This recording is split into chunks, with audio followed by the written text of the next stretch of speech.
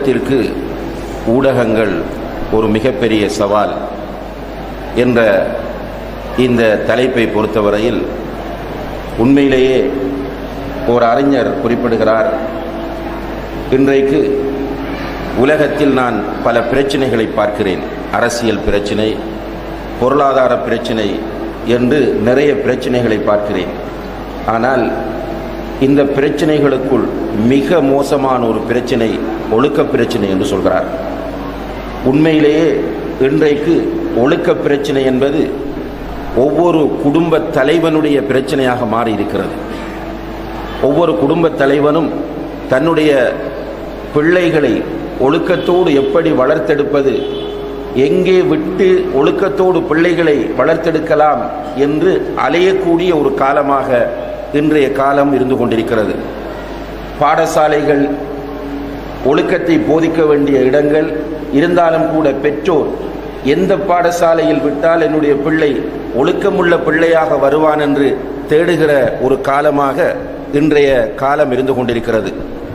ஒழுக்கம் மிக மோசமான முறையில் வீழ்ச்சியடைந்து வரக்கூடிய ஒரு காலத்தில் நாம் எல்லோரும் வாழ்ந்து கொண்டிருக்கிறோம். ரசூல் ஸல்லல்லாஹு அலஹி வசல்லம் அவர்கள் இந்த உலகத்தில் தூதராக அனுப்பப்படுகிற கால பின்னணியை நாம் பார்க்கும்போது ஒழுக்கம் மிக வீழ்ச்சி அடைந்திருந்த ஒரு கால பின்னணியாக அது காணப்படுகிறது. அந்த காலத்திலே ஒழுக்கச் சீர்கேட்டின் அனைத்து வாசல்களும் திறக்கப்பட்டிருந்தன. ஒழுக்கச் சீர்கேடு சமூக அங்கீகாரத்தோடு நடந்து கொண்டிருந்தது. மக்களுடைய வாழ்க்கையே ஒழுக்கச் சீர்கேடு தான் என்று சொல்லக்கூடிய அளவுக்கு அன்று நிலைமை காணப்பட்டது. விபச்சாரம் அவர்களுக்கு சாதாரணமான ஒரு விஷயம். சமுதாயத்திலே விபச்சாரம் செய்வதை யாரும் தட்டி கேட்பது கிடையாது. வரலாற்று நூல்களில் நாம் படிக்கிறோம்.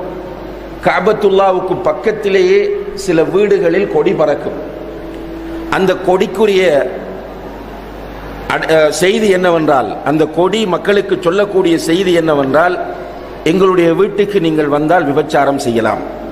என்ற செய்தி அந்த கொடிகள் சொல்லும். அந்த வீட்டுக்கு விபச்சாரம் செய்வதற்காக வேண்டி பலரும் போய் வருவார்கள். யாருமே அவர்களுக்கு எதிராக நடவடிக்கை எடுக்க மாட்டார்கள். சில நேரங்களில் ஒரு பெண்ணோடு பலர் போய் விபச்சாரத்தில் ஈடுபடுவார்கள். அதை கூட அந்த சமுதாயம் தட்டி கேட்காது. தட்டி கேட்கிற நிலை எப்போது வரும் என்றால் பலர் போய் வருவார்கள். அந்த பெண் கற்பமாகுவாள் குழந்தை கிடைத்து விட்டால் குழந்தைக்கு தந்தையார் போனவர்களில் தந்தையார் என்கிற விஷயத்தில் தேவை என்றால் பிரச்சனை வரும். ஆனால் அங்கு விபச்சாரம் நடைபெறுவதை யாரும் தடுப்பதில்லை தண்டிப்பதில்லை. கண்ணியத்திற்குரிய சகோதரர்களே இப்படியாக விபச்சாரம் சமுதாயத்தில் அங்கீகரிக்கப்பட்டிருந்தது. அந்த மக்கள் ஒழுக்கச் சீர்கேட்டின் உச்சகட்டத்திலே இருந்தார்கள். அப்படியான மக்கள் மத்தியிலே தான் அல்லாஹு தாலா நபிகள் நாயகம் சல்லா அலைஹி அவர்களை தூதராக அனுப்புகிறார். தூதராக அனுப்பிவிட்டு அல்லாஹ் சொல்லுகிறான் ஹுவல்லதி பஅஸ ஃபில் ரசூலம் மின்ஹும். இவர்களுக்கு மத்தியில் இருந்துதான் அல்லாஹ் ஒரு தூதரை அனுப்பியிருக்கிறான். அந்த தூதர் எத்லு அலேஹிம் ஆயாத்திஹி. அல்லாஹ்விடம் இருந்து வருகிற வேத வசனங்களை அந்த மக்களுக்கு ஓதி காண்பிப்பார் வயுசக்கீஹிம். அந்த மக்களை பரிசுத்தப்படுத்துவார். பரிசுத்தப்படுத்துதல் என்பதை பொறுத்தவரையில் அந்த மக்களிடத்திலே காணப்பட்ட கொள்கை ரீதியான அசிங்கங்களிலிருந்து அவர்களை பரிசுத்தப்படுத்துவார். அதே போன்று ஒழுக்க ரீதியான அசிங்கங்களிலிருந்தும் அவர்களை பரிசுத்தப்படுத்துவார் என்பது அதனுடைய அர்த்தமாகும். நபிகள் நாயம் சல்லா அலைஹி அவர்கள் அந்த மக்களை பார்த்து சொல்கிறார்கள் இன்னமா புஇஸ்து லி உத்தம்மிம மகாரிமல் அஹ்லாக். நான் அனுப்பப்பட்ட முழு நோக்கமுமே நல்ல பண்பாடுகளையும் ஒழுக்க விழுமியங்களையும் பூரணப்படுத்துவதற்காக வேண்டித்தான் என்று நபிகள் நாயம் சல்லா அலைஹி அவர்கள் சொன்னார்கள். இந்த அடிப்படையில் நபிகள் நாயம் ஸல்லல்லாஹு அலைஹி அவர்கள் நல்ல ஒழுக்கத்திற்கான கடுமையான பயிற்சி அந்த சமுதாயத்திற்கு கொடுத்தார்கள். கடைசியிலே ஒழுக்க சீர்கேட்டுக்கு அடிமைப்பட்டிருந்த மக்கள் ஒழுக்கத்தின் சிகரங்களாக மாறுகிறார்கள். ஒழுக்கத்திற்கு முன்மாதிரிகளாக மாறுகிறார்கள். விபச்சாரத்தை பொழுதுபோக்காக செய்து கொண்டிருந்தவர்கள் விபச்சாரம் செய்வதை மூக்கில் ஈ வந்து உட்கார்ந்து விட்டு போவதை போன்று அல்லது ஒரு இனிப்பு சாப்பிடுவதை போன்று எடுத்துக்கொண்டிருந்தவர்கள் பிறகு விபச்சாரம் என்பதை மிக அருவருப்பாக பார்க்க ஆரம்பித்தார்கள். அது மட்டுமல்ல அந்த பெண்கள் ஆண்கள் எல்லோரும் ஜாகிலிய காலத்தில் காபத்துல்லாவை வணங்குவதற்காக வேண்டி காபத்துல்லாவிலே வணங்குவதற்காக வரும்போது காபத்துல்லாவை அவர்கள் ஆடை இல்லாமல் நிர்வாணமாக ஆண்களும் பெண்களும் வலம் வருவார்கள். ஆனால் மதீனாவுக்கு வந்து பார்த்தால் மஸ்ஜிது நபவியிலே ஆண்களும் பெண்களும் தொழுவார்கள். முன் வரிசையில் ஆண்கள் நிற்பார்கள். இரண்டாவது வரிசையில் சிறுவர்கள் நிற்பார்கள். மூன்றாவது வரிசையில் தான் பெண்கள் இருப்பார்கள்.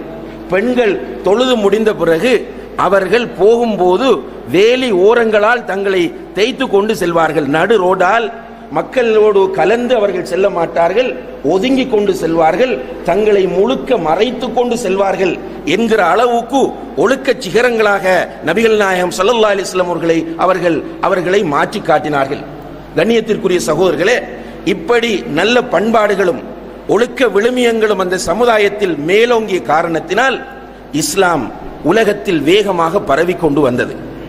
மக்கள் எல்லோரும் இஸ்லாத்தை ஏற்றுக்கொள்வதற்கு மிக முக்கியமான பல காரணங்கள் இருக்கின்றன. அந்த காரணங்களில் மிக முக்கியமான ஒன்றுதான் அவர்களிடத்தில் காணப்பட்ட இஸ்லாத்தை ஏற்ற மக்களிடத்தில் காணப்பட்ட நல்ல பண்பாடுகளும் ஒழுக்கமும் என்பதை யாருமே மறுக்க முடியாது. ஆனால் இன்றைக்கு நம்முடைய நிலைமை எப்படி வந்திருக்கிறது தெரியுமா? இன்றைக்கு ஒழுக்க சீர்கேடு என்பது உலகத்தில் பொதுவாக இருந்தாலும் அல்லாஹ் ரசூல் மறுமை தொழுகை நோன்பு ஜக்காத் என்று பேசுகிற இந்த சமுதாயத்திலும் ஒழுக்க சீர்கேடு ஜாகிலிய காலத்தில் இல்லாத அளவுக்கு பயங்கரமாக வந்து கொண்டிருக்கிறது. அல்லாஹ் பாதுகாக்க வேண்டும். ஜாகிலிய காலத்தில் இல்லாத அளவு என்று நான் எதை இங்கே குறிப்பிடுகிறேன் என்று கேட்டால் சில நேரங்களில் சில செய்திகள் வருகின்றன. அந்த செய்திகளை படிக்கும் போது உண்மையிலே நாம் எல்லோரும் அதிர்ச்சி அடைகிறோம். அதற்கு மேல் என்ன செய்வது என்று தெரியாமல் திமிர்த்து போய் நிற்கிறோம். தந்தை தன்னுடைய சிறிய குழந்தையை பாலியல் வல்லுறவுக்கு உட்படுத்தினான். இன்னாலில்லாஹி வ இன்னா இன்று பத்திரிகைகளிலே இந்த செய்தி வருகிறது. நம்முடைய சமுதாயத்தில் ஆங்காங்கே இவ்வாறான நிகழ்வுகள் நடைபெறுகின்றன. தன்னுடைய சகோதரியை பாலியல் வல்லுறவுக்கு உட்படுத்தினான். ஒரு அந்நிய பெண்ணை பாலியல் வல்லுறவுக்கு உட்படுத்துவது ஒழுக்கச் சீர்கேடாகும். அது சமுதாயம் அங்கீகரிக்காத ஒரு விஷயமாகும். ரசூல் சல்லா அலிஸ்லம் அவர்களுடைய காலத்தில் ஒரு தந்தை ஒரு பெண்ணை மணமுடிப்பான். அந்த தந்தை மௌத்தான பிறகு அதாவது ஒரு மகன் இருக்கும் போது முதல் மனைவியிலே மகன் இருக்கும் போது தந்தை இன்னும் ஒரு பெண்ணை மணமுடிப்பான். மணமுடித்து அந்த தந்தை வஃபாத்தாகி விட்டால் மரணித்து விட்டால் அந்த மகன் அந்த கண- தா- தந்தையினுடைய மனைவியை தன்னுடைய அனந்தர சொத்தாக ஆக்கிக் கொள்வான். தந்தையினுடைய மனைவியை தன்னுடைய அனந்தர சொத்தாக அந்த மகன் ஆக்குவான். இதை ஒழுக்கச் சீர்கேடு என்று குரான் சொல்லுகிறது இஸ்லாம் சொல்லுகிறது. ஆனால் கண்ணியத்திற்குரிய சகோதரர்களே அதைவிட மோசமான நிலையில் இன்று ஒழுக்கச் சீர்கேடு சமுதாயத்திலே மலிந்து போயிருப்பதை பார்க்கிறோம். உங்கள் எல்லோருக்கும் தெரியும் கண்ணதாசன் என்ற ஒரு கவிஞன் இருக்க இருந்தான். அந்த கவிஞன் ஒரு புத்தகம் எழுதியிருந்தான் அரங்கமும் அந்தரங்கமும் என்று சொல்லி. அந்த புத்தகத்திலே அவன் ஒரு செய்தியை குறிப்பிடுகிறான் என்ற யதார்த்தத்தை. என்ன யதார்த்தம் என்று தெரியுமா? இன்றைக்கு எல்லோருடைய உள்ளங்களிலும் விபச்சாரம் செய்ய வேண்டும் என்ற ஆசை நிறைந்து போய் இருக்கிறது விபச்சாரம் செய்யாமல் இருக்கிறார்கள் என்று சொன்னால் அதற்கு அடிப்படை காரணம் அவனுக்கு வாய்ப்பு கிடைக்கவில்லை அல்லது சமூக பயம்.